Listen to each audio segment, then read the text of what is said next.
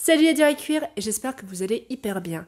Alors, euh, la semaine dernière, j'ai été au musée Marmottan Monet pour aller voir l'exposition ben, sur Julie Manet et euh, ben, j'ai fait un vlog, mais je me suis dit que ce serait bien de contextualiser un petit peu et euh, de retourner une ancienne vidéo que j'avais faite il y a déjà deux ans.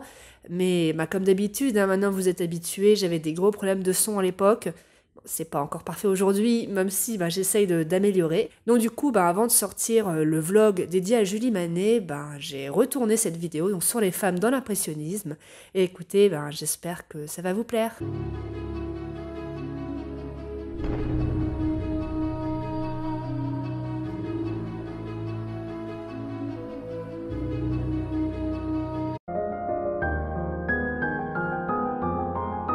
Bon alors d'abord contextualisons un petit peu et parlons ben, de l'histoire des femmes dans l'art, même si euh, c'est un gros sujet énorme qu'on va juste survoler. Mais en gros, globalement, euh, l'histoire de l'art féminin, ben, c'est vraiment une succession euh, de bâtons mis dans les roues des artistes. Donc au Moyen Âge, art, artisanat, bah, c'est plus ou moins la même chose et les artisans bah, travaillent souvent en famille. C'est pour ça qu'on voit beaucoup de femmes qui étaient enlumineuses, qui étaient euh, graveurs, mais malheureusement, même si elles travaillaient souvent autant que leur mari, ben, c'est souvent le nom de ce dernier qui euh, ben, connu ou alors le nom de leur atelier. Bien entendu, on trouve toujours des contre-exemples. Euh, par exemple, Christine de Pisan nous parle d'une enlumineuse très célèbre dans le Paris du XVe siècle qui s'appelait Anasthèse. Le nom de Gouda, donc une autre enlumineuse, mais euh, qui vivait cette fois-ci en Allemagne au XIIe siècle, nous est aussi parvenu, surtout que Gouda est célèbre en fait pour avoir peint son autoportrait ce qui était une chose euh, vraiment très très rare à l'époque. Donc euh, la Renaissance voit l'apparition de superstars de la peinture, les sujets se diversifient, mais ce qui ne se diversifie pas, ben, c'est le profil des artistes en fait, puisque les femmes sont encore euh, très souvent exclues des ateliers. Ça, ça s'explique par plusieurs raisons. déjà, il faut savoir que les femmes à l'époque n'avaient pas le droit de peindre des nus, parce que c'était trop indécent de laisser une chaste femme peindre des hommes nus. Or, le problème, c'est que ben, à l'époque, le nu, c'est vraiment le fondement de la peinture et ben, c'est le seul moyen de progresser euh, en anatomie. Donc, résultat, ben, c'est souvent des filles de peintres ou des épouses de peintres qui parviennent un petit peu à tricher et euh, ben, à se faire un nom, même si vous allez voir, c'est pas forcément automatique. Par exemple, est-ce que vous connaissez Marietta Le Tintoret? Si oui, Bravo, moi je la connaissais pas avant de faire mes recherches, sinon c'est normal. Donc Marietta, c'était la fille euh, ben, du célèbre peintre homonyme, hein, Le Tintoret, et euh, donc elle était très douée, et ben, très vite elle a commencé à se constituer des clients parmi les cours étrangères. Sauf que le, Tintoret était un père euh, très possessif, et il n'a pas supporté que sa fille puisse quitter la maison, donc il l'a fortement incité, on va dire, c'est encore un euphémisme, à se marier, donc ce qui a vraiment freiné sa carrière puisqu'elle ne pouvait plus aller à l'étranger. Et euh, ben, par la suite, elle mourut euh, en couche. Alors en 1663 se produit une petite révolution, puisque Catherine Gérardon devient la première femme à avoir le droit de rejoindre l'Académie royale, qui faisait vraiment euh, la pluie et le beau temps hein, dans le paysage de l'art français. Sauf que malheureusement, elle dut se cantonner au genre considéré comme mineur à l'époque, c'est-à-dire les paysages ou les portraits, et on lui interdisait de peindre des genres nobles, comme l'histoire ou la mythologie, qui étaient des genres qui étaient réservés aux peintres masculins. Alors le 19e siècle, ça va vraiment être un tournant majeur. Donc déjà, la peinture s'est beaucoup démocratisée et c'est euh, un loisir qui est même encouragé chez les jeunes filles de bonne famille. Mais attention, ça doit rester un loisir. Euh, c'est très mal vu pour une femme de vouloir faire carrière. D'ailleurs, en 1860, un critique d'art, Léon Lagrange, va écrire ces mots qui collent très bien hein, avec la manière de penser de l'époque. Donc, il disait que les hommes s'occupent de tout ce qui touche au grand art que les femmes se tiennent aux formes d'art qui leur sont dédiées, pour lesquelles elles ont toujours marqué leurs préférences, telles que le pastel le portrait. Donc du coup c'est difficile hein, pour celles qui veulent faire carrière. Euh, je sais pas si vous connaissez Marie Guimine Benoît, ben, un peu comme Marietta Le Tintoret, elle a eu une carrière contrariée, cette fois-ci pas par son père mais par son mari.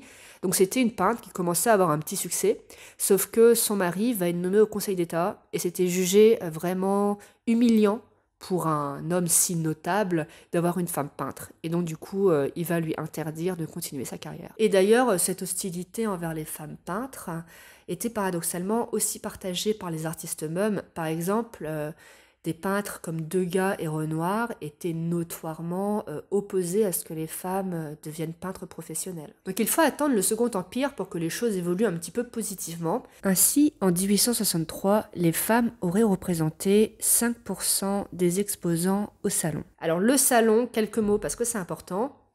C'était euh, une exposition annuelle, en fait c'était un vaste concours, les artistes envoyaient leur toile à un jury, et bah, si la toile était sélectionnée, euh, le peintre pouvait exposer sa toile au Louvre et ça, lui ouvrait euh, accès à euh, la commande publique, par exemple, ou ça lui permettait de gagner en notoriété au sein de la bourgeoisie et donc du coup d'avoir plus de clients. Sauf que le problème de ce salon, c'est que c'était vraiment le royaume de l'art pompier, le royaume du conventionnel de l'art sage en fait. C'est ça, c'était très très très conventionnel.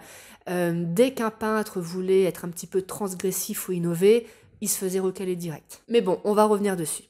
Euh, en 1867, deuxième gros changement, l'Académie Julien ouvre. Donc c'est une académie de peinture privée qui va être ouverte aux femmes et euh, l'enseignement va vraiment être très qualitatif. Les femmes vont même pouvoir avoir accès à des cours de semi-nus oui, euh, les, modèles gardaient quand même euh, un sous-vêtement, parce qu'il ne faut pas pousser non plus, hein. on reste au 19e siècle.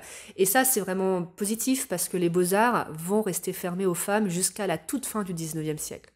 Donc euh, ces femmes vont pouvoir avoir accès à un savoir technique, et ben, leur nombre va vraiment exploser.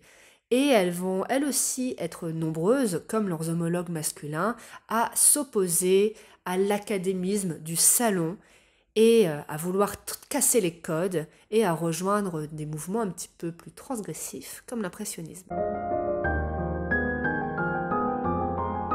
Alors c'est difficile euh, de définir avec précision ce qu'est l'impressionnisme parce que chaque peintre avait plus ou moins son style. Il y avait quand même un socle commun. Et la manière dont étaient euh, représentées les femmes dans les toiles impressionnistes bah, fait partie de ce socle commun.